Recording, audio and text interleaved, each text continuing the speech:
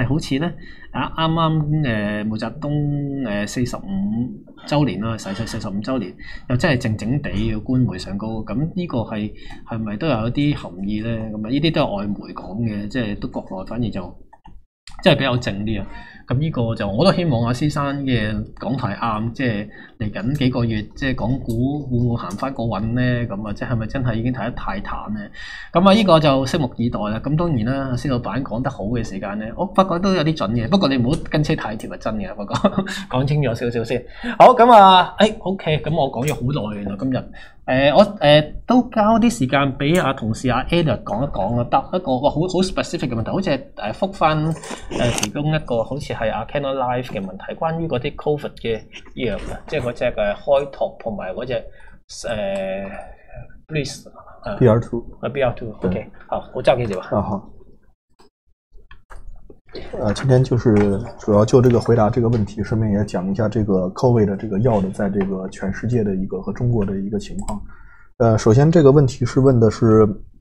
就是这个之前开拓药业的这个药的一个临床实验上来讲，西方的媒体是认为这个临床实验缺乏一些透明度，同时也是有一些怀疑。然后，然后现在这个现在已经进入到美国的这个 FDA 三期的这个试验阶段，所以是否应该引起关注或者有些 concern？呃，关于这个问题，我认为其实这个大家可以看到，这个数据来讲确实是非常好。它这个死亡的这个风险降低率是达到百分之九十二，然后恢复时间是能够的缩短五天。这个对比一下，这个美国的公司来讲，其实是明显要好于这个美国的这个数据的。所以说，其实我个人也是有点怀疑这个数据的一个一个真实性。但是它的这个问题，呃，但是我认为这个也不用太过于这个担心，因为这个现在已经目前是进入到 FDA 的这个三期临床的这个入组。所以说，如果它能够进入到 FDA 的三期临床入组，就说明这个实验应该本。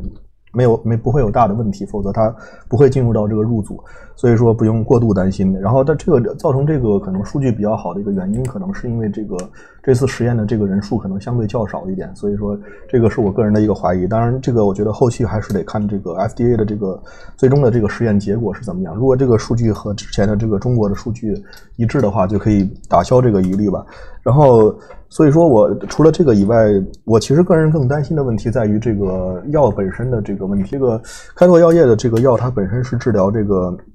男性脱发的一个问题，它是在这个男性脱发里面，然后顺呃是巧合发现了这个新冠的这个这个治疗的这个效果。所以说它这个药可能在后续来讲，由于它一开始的这个呃设计的时候，它并不是考虑新冠，它是考虑男性脱发，所以说可能在后续的一个跟进的一个实验来讲，可能呃。会有点呃，可能会有点有一些小的一些 risk 吧，因为比如说像之前的这个 Moderna 呀，或者 Novavax 呀，或者这个 BioNTech，他们的这个药最早是，因为他们一开始的目目的就是这个治疗这个新冠，所以说大家可以看到，在这个现在有这个新的情况，比如说变种啊，或者是一些呃疫情加重啊，他们会有一些很多很完整的一个一个一个产品组合来针对这个事情，所以说这个开拓可能相对没有，这个是我个人的一个 concern。然后，但是除了这个以外，我觉得还是很不错的。因为其实从现在已经有的数据来讲，开拓现在是，我觉得呃，如果只看数据来讲，是全世界其实的疗效最好。所以说，可能所以说，这个重点就是后续关注一下美国这个 FDA 的三期的一个一个数据怎么样。呃，这是第一个问题。第二个问题是这个问呃问的是有没有其他类似于开拓的这个普鲁克安 A AR 的这个抑制剂在全球范围，还有就是这个，类似于这个，目前有跟相比一些这个，像这个单克隆抗体，像这个 B R two 的这个单克隆抗体，这个普鲁克普克鲁安会不会说是更安全一点？有没有可比性这个问题？呃，其实除了这个开拓以外，是在是有的，在中国是没有这个 AR 拮抗剂，其实在美国是有這個禮來和 Insight，他们是有做一个跟开拓一样的一个 AR 拮抗剂。然后这个的话，但是它如果只看临床数据，其实要差很多，比这个开拓。说到这里，也就说一下这个可比性的问题。为什么这个有什么区别？这个抗体，呃，单抗和这个口口服药的这个 AR 拮抗剂有什么区别？其实，呃，大家可以看一下这张图。其实，呃，一般现在的这个单呃，像这个单抗类的，它主要治疗的是这种严重类的和偏严重类的一个病。这个口服药现在是治疗的是相对轻度一点的病，所以说他们的这个使用的这个场景是是不太同的。就是这张图也可以看到，他们的使用场景是不一样的，这是第一点。第二点是他们的原理其实也也是有点不一样。其实这个单抗现在的一个做法就是，它在这个 SARS 的这个受分子受体上面，它有一些加入了一些这个单抗的这个。呃，它阻阻止这个受体的一个信息接收，这是一个传统的做法的单抗。但是这个 A A R 拮抗剂的话，它的做法是在这个直接在这个病毒的里里面，然后去改修改它的这个 R N A 的这个排列组合，然后让这个产生一个新的一个一个病毒。然后这个的话，它是不产生，它虽然也是病毒的这个样子，但是它其实是没有效力的，这是它的做法。就是是不一样，但是除了这个以外，其实它们都是这个药类的 COVID drug 类的类型。就除了这个以外，就是只有这个。疫苗，所以说他们其实是可以具有可比性的，呃，还有就是这个，其实就是关于这个普克鲁安，呃，和这个和这个之前的这个 BR Two 这家公司，他们的一个区别在哪里？其实，呃，大家可以看到，这个的现在 AR 拮抗剂是比较少的，全球范围内只有这个礼来和 Inside 还有这个。呃，开拓是做这个 AR 拮抗剂，其实更常规的做法是做用这个单抗的做法，像这个腾盛博药，它就是做单抗。其实，在不管是在中国还是在在美国，其实大大部分是用这个单抗的一个做法。然后这个其实呃，现在这个目前这个做法的话，如果说安全性来讲，我觉得其实不用太担心，因为他们其实现在都是有临床数据来证明的，所以说呃不用担心，说是由于这个做的比较少，所以说它的将来可能在这个使用，它可能在研发上会有问题。我觉得这个可以不用不用太担心。然后就是这个最后就是这个可比性的问题，其实呃。呃，我个人是认为，其实这个目前来讲，他们的这个口服药可能在未来的来讲可能会好一点，因为现在口服药由于它这个治疗的是一个相对轻度的一点的病症，所以在中国现在由于这个大的背景口呃新冠是得到控制的一个情况，基本上相对，所以说这个可能口从前景来讲，我觉得口服药可能前景会更好一点，但是在美国或者国外的话，我觉得可能是这个呃抗体的会更更好一点，因为现在美国和国外的是一种相对不受控制的一个状态，所以说。可能在不同的地区，可能是有不同的一个一个侧重点吧。然后最后就说一下这个，其实大家也注意到，这个在上周和这个这周的时候，腾盛博药和开拓，开拓主要是在上周的时候涨幅比较大，这周是在腾腾盛博药的涨幅比较大。所以说有什么 catalyst 的导致这个点？所以说，呃，其实腾盛博药是在上周的时候有一个，大家呃不知道有没有注意到，就是有个钟南山牵头的一个一个项目，然后同时有一个追加一亿呃一亿美元的投资，还有就是。有一个临床数据，就是这个死亡风险率降低百分之七十八的数据是在上周的时候公布的。所以说，为什么这个东西它能够区让它区分出来，跟其他国内做这个呃抗体类的有有区别？就是其实我觉得主要就是由于如果钟南山牵头这个事情，它其实代表可以代表是一个基本政府和国家的一个一个牵头去做这个事情。所以说，相对于呃。腾盛博药而言，其他的公司它并没有这个政府的这边出面，所以说这个可能就是区分它能让它做的比较好。其次，它是腾盛博药这个目前已经是进入到三期入组的一个一个一个情况，所以说它的临床数据也是领先于其他公司的，所以说呃这个是比较好。但是当然，为什么在上周没有涨，在这周突然是涨了？我认为可能是一个信息的一个滞后吧，因为我也是在这个周末的时候看到很多在雪球啊、社交媒体上，还有一些券商研报都在集中的报道这个事情。所以说，其实这个事情并不是刚出来，是在上周三、周四左右出来。但是由于这个信息的这个更多报道集中在周末，所以说这个事情我觉得可能有点延后。对，大概就是这样的一个情况。好，唔该晒阿 Ada 啦，OK。